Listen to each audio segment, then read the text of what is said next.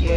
cages in then we made our way down to Tuckton Corner and did that branch. Then we did the cage room. Where stuff newer than me is in preservation. And then we went back to Staines, Staines yeah. to um, Guildford. Guildford up to um,